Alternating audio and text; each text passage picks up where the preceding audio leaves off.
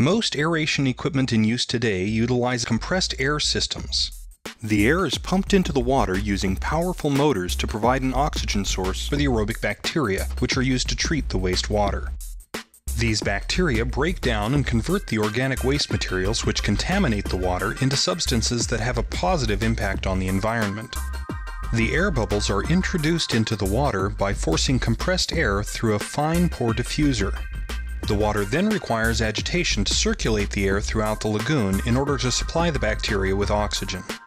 The amount of oxygen required to process the waste material is referred to as the BOD, or biological oxygen demand.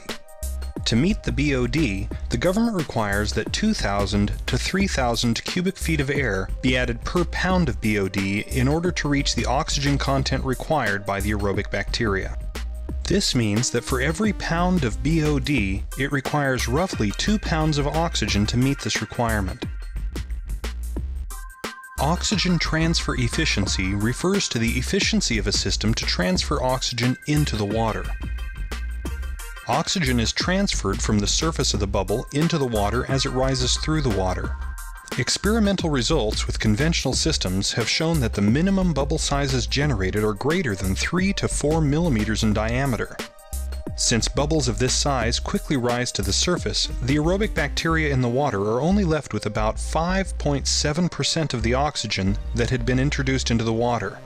The rest of the oxygen escapes back into the atmosphere when the bubble reaches the surface of the water. This new fine bubble diffusion system pulls wastewater up from the bottom and then, using a physics principle called the hydraulic paradox, it shatters the surface tension of the water. This creates an imbalance in pressure, which pulls air into the water like a vacuum. An added benefit of this design is the savings in energy costs. The fine bubble diffuser only requires a 2 horsepower motor to operate. It also removes the need to agitate the water because the oxygen diffuses through the system naturally. Diffusion refers to the process where particles of a higher concentration tend to move to an area of lesser concentration until the particles are evenly distributed. The bubbles created by this system are so small that they cannot float out of the water.